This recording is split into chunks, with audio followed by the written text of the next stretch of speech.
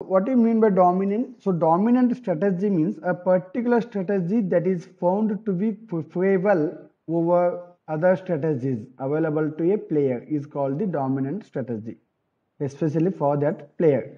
A particular strategy that is found to be preferable over the strategies available. So if there are n number of strategies out of n, so there will be some strategies are preferable. So out of four strategies, so two will be preferable. So those two will call it as a dominant strategies. We can know how to reduce that uh, matrix. So if the matrix is given of m by n, m by n, then we can solve by a dominance principle. So we can use that method. Okay, first how to reduce the row matrix. Row. So retaining, retain, just keep it in mind. So retaining higher or equal value row or delete the lesser value row. So don't get confused. So both meanings are same. If there are two rows are there, so I have uh, written the statements here. So if the R1 is dominating R2, if the R1 is dominating R2, then delete R2. So you will need to delete the, so whichever the smaller value. And how to identify this is a dominating? You can observe that so here I have written that it's a greater than or equal to if all the elements of the if all the elements of the R1 are either greater than or equal to the R2 then we can say that R1 is dominating. So I mean uh, R1 is having the numbers of 4, 3, 6. So then R2 having the numbers of 3, 3, 5 okay then now we can say that uh, r1 so respective numbers we need to select. Okay 4 is greater than 3 okay it is satisfying. Uh, 3 is equal to 3 it's okay. And 6 is greater than 5 okay it's also okay. It means that all the values of r1 are either greater than or equal to the uh, values of r2 so then we can say that r1 is dominating r2 so you can delete R2. Okay, once if you are comparing with the columns, if you are comparing with the columns, you need to retain the lower or equal value column or the delete a dominating column. So delete dominating column in the sense or delete the higher values column. I'll explain here. If the C1 is dominating C2, if the C1 is dominating C2, then delete the C1. Then delete C1. I mean, I mean, as there are two uh, columns, okay, 5, 4, 6. So in this case, uh, this is the 4, 4 and 5 are the minus 5. Okay, now we can compare the values of each. So this 5, okay, first 5 is, okay, 5 is greater than uh, 4. Uh, 4 is equal to 4 is equal 4 equal to 4 next one 6 is greater than equal to minus 5 6 is greater than equal to minus 5 it means that it means that a C1 is dominating C2 so you can delete C1 so you can delete C1 so don't get confused. So if you are comparing the rows then you need to delete the whichever the least row if you are comparing the column then you need to delete the whichever is dominating. Okay next one. Solve the following game using the concept of uh, dominance. Okay just write down this problem. Uh, first matrix you need to write. First matrix you need to write. Solve the following game using the concept of dominance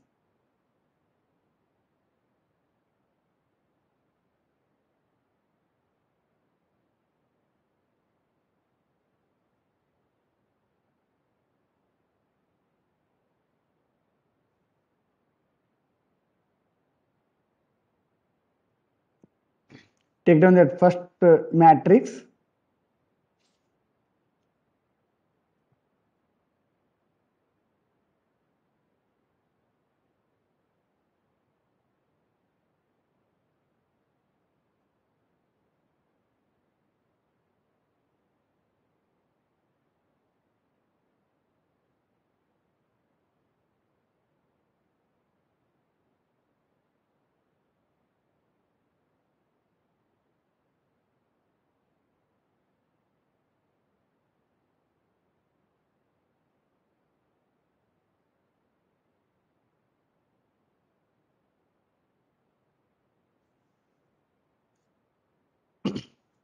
Okay, now uh, we'll solve this problem. Okay, solve the following game using concept of dominance.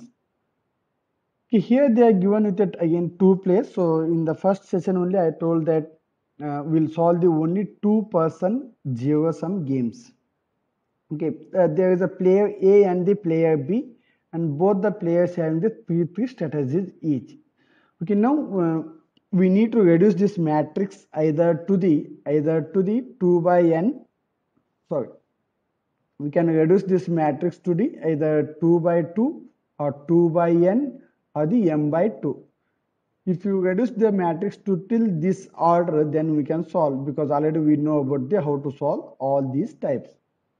Okay before starting with the dominance method first we need to identify the saddle point okay how to identify the saddle point? Uh, you need to write the row minima and column maxima. Row minima. Out of all the minimum numbers which is the maximum? Minus 4 is the maximum. Oh, sorry. Out of all the numbers uh, minus 3 is the maximum. So there are two minus 3s are there. It means that so we cannot find the saddle point. So saddle point is nothing but so there should be one single number which uh, which is related to the one strategy to the player A and another strategy to the player B. So that should be pure strategy. So here, so there is no saddle point. Still, we'll find the column maxima also. Column maxima is 2, 6, and next one 4. And this is the one more. So it means that uh, mini, this is the maximin. Maximin is a minus 3, whereas the minimax is a 2. So the value of the game will be lies between 2 and minus 3. Okay, now we'll move on to the following this game by solving this payoff matrix by dominance method. Okay, already I told that how to reduce the uh, matrix. Okay, first uh, either you can compare with the columns or the rows, so it's left to you. Either you can compare with the columns or the row, it's left to you. you. Here I'll start with the column wise comparison. Okay, now first one, so column wise,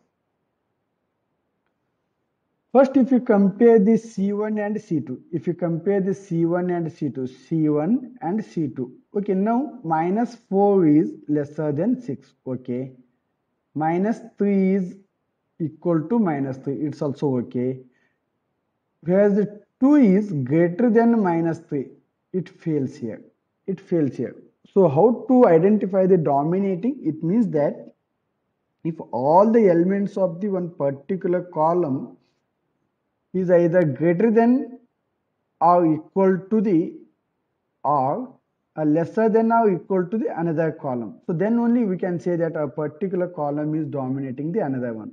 Here the first element is the less minus 4 is lesser than 6 minus 3 equal to minus 3 whereas the last element is 2 is greater than 3 so then we cannot say that either c1 is dominating or the c2 is dominating. Okay leave about the c1 and c2 okay now we will move on to the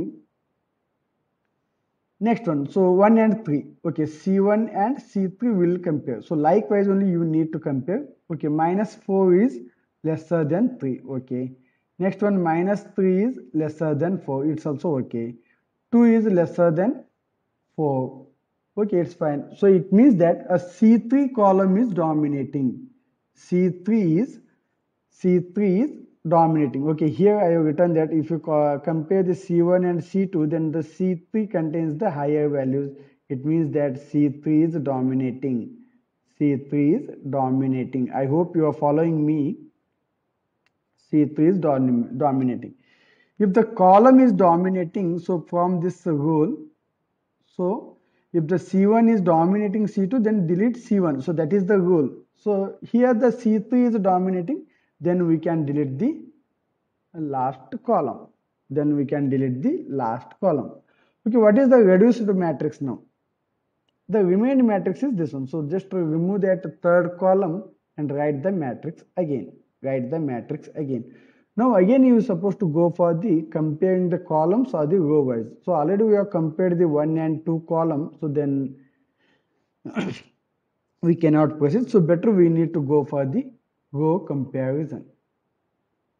We'll go for the row comparison. Okay, now if you compare the first row and second row, we'll check that. Okay, first row is a minus 4. Minus 4 is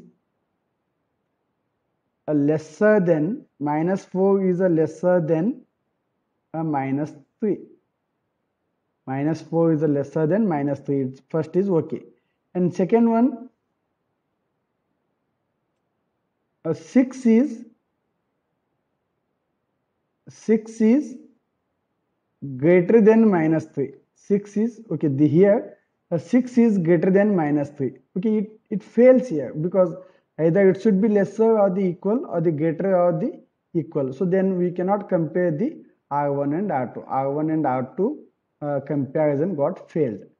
Got failed. Okay next we will go for the comparing the r1 and r3 r1 and r3 okay here minus 4 is lesser than 2 minus 4 is lesser than 2 whereas 6 is greater than 3 here 6 is greater than minus 3 6 is greater than minus 3 okay here also again it fails. So 1 and 3 we cannot compare. Okay next option is uh, we can compare with the r2 and r3 we can compare with the r2 and r3 okay here minus 3 is minus 3 is lesser than 2 okay and minus 3 is equal to minus 3 okay here so we can say that uh, all the values of r3 are greater than or equal to the values of r2 so it means that r3 is dominating r1 r3 is dominating r1 so which one we supposed to delete? So as i already told that here we can you can see that if r1 is dominating r2 then you need to delete the r2 whichever is the least. Okay in this case which is the least? Okay it is not r1 it is r2 okay here r2 is the least one so then you need to delete the so r2 okay now you now you got the value of only 4 by 2 by 2 matrix. You got the matrix payoff matrix reduced payoff matrix to the 2 by 2 or which what is the 2 by 2 matrix of minus 4 6 and 2 and minus 3 and what are the strategies? This is a1 and this is a3 a1 a3 and this is the b1 and b2 okay now once if you got uh, get the 2 by 2 matrix so you are already perfect with that how to calculate uh, find the p1 and p2 it is a P1, it is a P3. Okay, P1, how to find it? And for this one, it is a Q1 and Q2. Okay, already you know that. So, so that uh, either analytical method or the algebraic method you can apply and find it. Okay, go for the difference of these two. What is the difference? So, difference is 5 and here the difference is 10. Uh, total is 15. 5 plus of 10, so 15 so it means that one third and the two third. These two are the probabilities. Here's the Q1 and Q2 are. Here's the Q1 and Q2 are. So okay, difference is 9 and here the difference is 6. 6. A total is again a 15. 9 plus 6 of 15. Okay, this is a 3 by 5 and this is a 2 by 5. You know, once if you got the probabilities of the A player as well as the B player, then then find the value of the game by multiplying with n1 so okay my value of the game is p1 into minus 4 plus of p3 into p3 into a uh, 2 p3 into 2 okay p1 is one third. Okay that will be a minus 4 by 3 plus of p3 is p3 is a 2 by 3 into 2 that's also 4 by 3 what is the value of the game here? It is a 0 it is the 0 okay am i right or any mistake here?